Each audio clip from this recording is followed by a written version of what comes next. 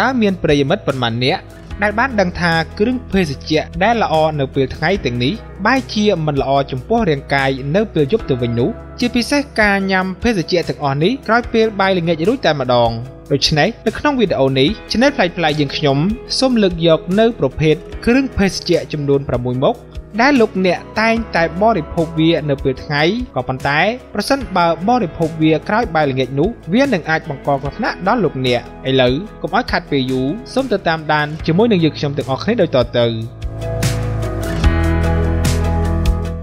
ទី1ទឹកដោះគោឆៅសុត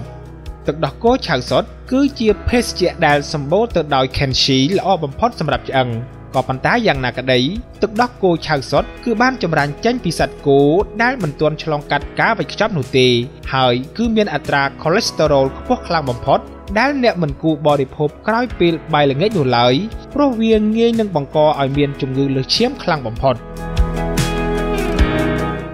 ទី2កាហ្វេនិងគ្រីមស្រស់ កាហ្វេ និងគ្រីមស្រស់បានក្លាយទៅជាភេសជ្ជៈដ៏ពេញនិយមបំផុតនៅក្នុងស្រទាប់យុវវ័យនៅពេលបច្ចុប្បន្ននេះក៏ប៉ុន្តែយ៉ាងណាក្តីគ្រឿងផឹកទាំងអស់នេះគឺមិនស័ក្តិសមនឹងការផឹកពេលយប់នោះឡើយជាពិសេសគឺការផឹកក្រោយពេលបាយល្ងាចតែម្ដងត្បិតគ្រីមស្រស់ភាគច្រើនត្រូវបានធ្វើឡើងដោយប្រេងក៏ដោយ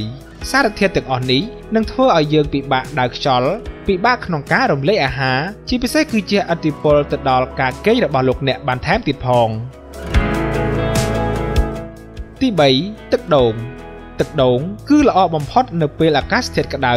ព្រោះដូងផ្ទុកទៅដោយសារធាតុត្រជាក់ជាច្រើនក៏ប៉ុន្តែយ៉ាងណាក្តីប្រភេទទឹកដូងគឺផ្ទុកជាតិរ៉ែយ៉ាងច្រើនងាយនឹងធ្វើឲ្យមនុស្សបាត់ជើងច្រើននៅពេលយប់ផងដែរហើយវាបង្កឲ្យរាងកាយរបស់អ្នកពិបាកក្នុងការគេងផងដែរទី4ពពុះភេសជ្ជៈដែលមានជាតិហ្គាស